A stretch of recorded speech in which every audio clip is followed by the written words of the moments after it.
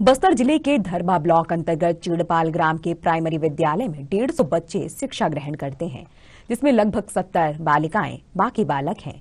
निंदा की बात तो ये है कि यहाँ विद्यार्थी तो हैं, लेकिन शिक्षा देने के लिए कोई शिक्षक नहीं है। ऐसे में सवाल यह उठता है कि आखिर ये बच्चे स्कूल में किसके भरोसे हैं?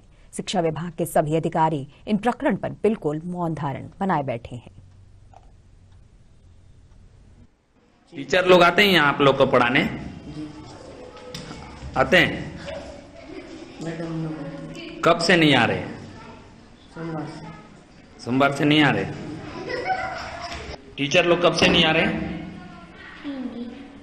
हिंदी से कोई नहीं आ रहा टीचर। फिर तो कौन पढ़ाता है यहाँ? हम खड़े हैं बस्तर जिला के दरभा ब्लॉक में। जी हाँ बता दूँ, दरभा ब्लॉक का ये चीड़पाल ग्राम पंचायत है। और हमारे पीछे आप देख रहे हैं, ये जो विद्यालय है, ये चिड़पाल का ही विद्यालय है। इसमें पांचवी तक बच्चे जो है पढ़ते हैं और एक बड़ी चीज़ जो हमें देखने को मिली, अभी लगभग 11 बजने वाले हैं, लेकिन किसी भी शिक्षक का यहाँ उपस्थिति नहीं दर्ज हुआ है। जी हाँ बता दूँ, पांचवी तक चलने वाले इस स्कूल में अभी भी कोई शिक्षक नहीं पहुँचे हैं। अगर कर्मचारियों की बात करें तो यहाँ पास में ही एक आश्रम लगा हुआ है और इस आश्रम के जो इस आश्रम में खाना बनाते हैं वो हमारे साथ में है। क्या समय हो रहा है?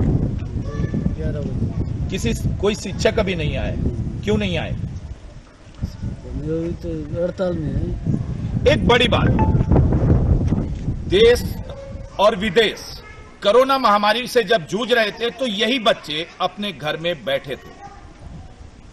जब कोरोना महामारी का असर कम हुआ तो इन बच्चों में भी और माता पिता में भी एक खुशी हुई कि अब हमारे बच्चे स्कूल में जाकर के शिक्षा को हासिल कर सकेंगे। ऐसे स्थिति में इन बच्चों का भविष्य अंधकार में बिल्कुल डूबता हुआ नज़र आ रहा है, क्योंकि ये समय था इन्हें शिक्षा प्राप्त करने का।